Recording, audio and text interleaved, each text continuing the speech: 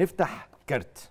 الكارت بيقول كيف يفكر فيريرا في تشكيل القمة واستعادة حسام عبد المجيد. حسام عبد المجيد خلاص هينضم للفريق. مم. طب الراجل بيشتغل بثلاثه دايما آه، في في الخط الخلفي. هو لعب بحمزة المسلوسي الماتش اللي فات آه، third back. طب هيلعب ب third back؟ ولا هيرجع آه، حسام عبد المجيد. حسام عبد المجيد راجع راجع هو راجل مقتنع بيه ومؤمن بيه تماما. مم. طب هل هيكون على مصطفى حساب مصطفى الزناري؟ ولا يلعب بقى بالثلاثه الزناري جنب حسام عبد المجيد جنب محمد عبد الغني ويرحل حمزة المسلوسي ناحية اليمين وأحمد فتوح ناحية الشمال. خاصة إن في ناس كتير بتتكلم عن عمر جابر لكن الراجل عنده قناعة كبيرة بعمر جابر، عمر جابر نفسه اشتكى من السوشيال ميديا ماسكاه بقى لها يومين سوشيال ميديا الزمالك مش حد تاني. انت بتعمل إيه وانت ظروفك إيه وانت جاي بتعمل إيه و... و- فالضغوط دي خلي بالك برضو عمر آه متربي في في الزمالك لكن بقى له خمس سنين أكتر. بعيد عن القصة دي خالص. صحيح. لعب في في لوس أنجلوس آه، في في في أمريكا ولعب في بيراميدز. وبازل. فحاسس أو بازل. ثلاث ثلاث أندية. فبعد قوي عن الضغوط دي.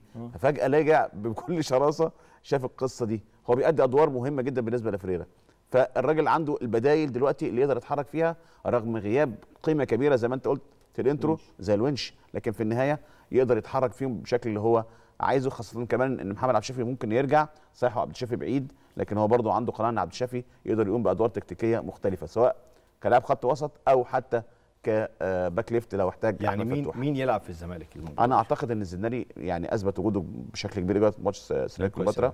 وعبد الغني ركيزة أساسية وقد يدخل معهم حسام عبد المجيد ويتم ترحيل حمزة المسلوسي إلى مر- مركز الظهير الأيمن. لأنه برضه الراجل عنده قناعة إن المسلوسي ما يطلعش الملعب. ساعتها ممكن يحتاج لعمر جابر في خط الوسط آه، ويبقى فيه آه، آه، هو وعمر جابر ورؤى والوردي آه، يشوف اتنين منهم يلعبوا. في هذه المنطقة مع زيزو إمام عاشور جناح. آه. هيلعب إمام عاشور في. الأغلب هيلعب جناح ناحية الشمال عشان يعوض قصة هو يعني مش بنفس القيمة يعني لكن هو بيعرف يضفر القماشة بطريقته عشان يعوض غياب الجناح القوي خاصة إن إبراهيم رضاي برضو عنده آه، مش الغضروف. واصابه مش هيبقى موجود فممكن يلعب بيه هو السيسي وزيزو. ومستوى شلبي مش ممكن يبقوا مفاجآت؟ آه الراجل يعني هو نفسه آه هياخدهم وكل حاجة لكن هو شايف إن إن الاثنين دول تحديدا ومعاهم آه آه يوسف حسن ياخدوا بعد ماتش السوبر. يدخلوا تدريجيا في الماتشات. ودي دي طريقته بشكل عام. لكن هو في النهاية لازم ياخد كل ال- الأوراق اللي معاه لحين إن هو يشوف الوضع إيه. لكن يوسف حسن مش موجود خالص في الماتش الجاي. مش موجود. لا مش موجود. طيب.